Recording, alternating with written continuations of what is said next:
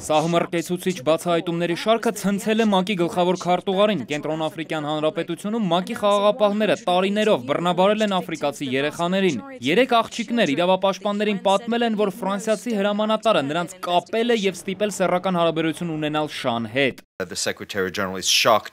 ՄԱԿ-ի գլխավոր քարտուղարը շոկի մեջ է վերջին բացահայտումներից։ Միջազգային հանրությունը կենտրոնական Աֆրիկա զորք էր ուղարկել մարդկանց փրկելու եւ պաշտպանելու համար, բայց զինվորները կատարել են հանցանքներ, որոնք ժամանակին լռության են մատնվել։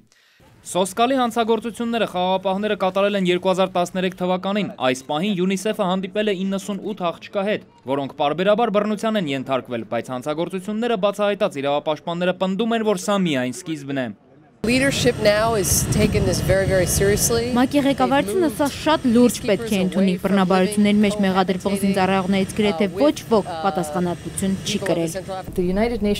ՄԱԿ-ը պարզապես չունի ինքն իրեն քննելու մեխանիզմներ։ Այս 98 դեպքեր ու բացահայտված եւս 10 հանցագործությունները սարսափեկորի միայն երևացող մասն են։ Այժմ ՄԱԿ-ը սկսում է բռնաբարությունների եւ նվաստացումների մասշտաբային քննությունը, որը կարող է տարիներ տևել, հաշվի առնելով բռնությունների ու դրանց հեղինակների հսկայական քանակը։ Դավիթ Սարգսյան, ժամը լրատվական։